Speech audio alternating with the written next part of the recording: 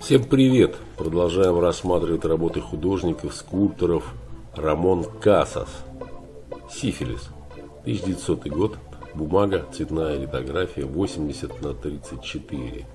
Этот плакат дает представление о том, как выглядела европейская реклама в конце 19-20 века, когда в ее создании участвовали лучшие современные художники – а находившаяся на пике расцвета техника литографии стала благородной не только для неограниченного копирования изображения, но и для формирования выразительных, экспрессивных и запоминающихся образов.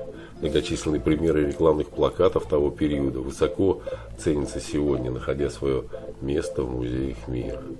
Сифилис, гласят внушающие опаску извилистые буквы на заголовке этого листа.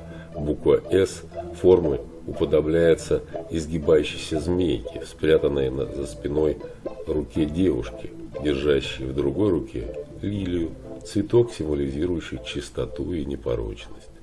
Таким образом, выдающийся каталонский художник-модернист Рамон Касас материализует свое представление о пороке, манящем и прельщающем, но способным привести к плачевным последствиям. Яркий колорит, в котором сталкиваются дополнительные по отношению к друг другу фиолетовые и желтые цвета, подобно расцветке ядовитого цветка, привлекает и в то же время предупреждает, настораживает. Как бы то ни было, надпись, расположенная ниже, вселяет надежду, обещая абсолютное и радикальное исцеление от недуга. Ну вот такое описание к работе Рамона Касаса.